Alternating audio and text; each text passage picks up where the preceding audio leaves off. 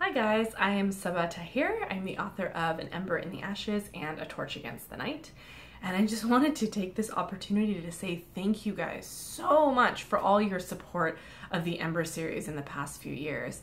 Booksellers and bloggers and YouTubers and librarians, I just cannot tell you um, how much it has meant to me to be a part of the community to which you guys belong. So thank you, thank you, thank you.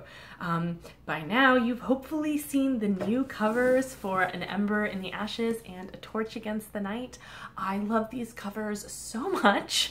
Um, to see Laia and Elias and Helene brought to life, to see the romance and the violence and the, the, the adventure and the drama of the books all pulled together on the covers has just been an awesome experience. And I really hope that you love them as much as I do. Um, You've also by now hopefully seen the cover for the third book in the Ember Quartet, which is called uh, Reaper at the Gates. Um, Reaper has been so much fun to work on. It's um, took me to really high highs and also driven me crazy. If you follow me on Instagram, you've probably seen me wringing my hands about my characters um, and how difficult they're being. But I think I've wrangled them now.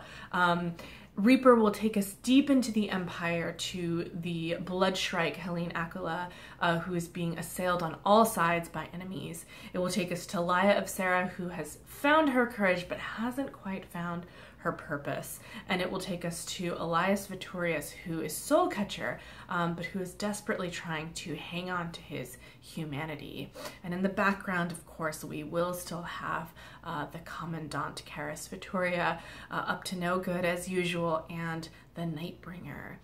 Um, this book has been so much fun, but I am still working on it. It's going to be out in spring of 2018, and I just I cannot wait to get it into your hands.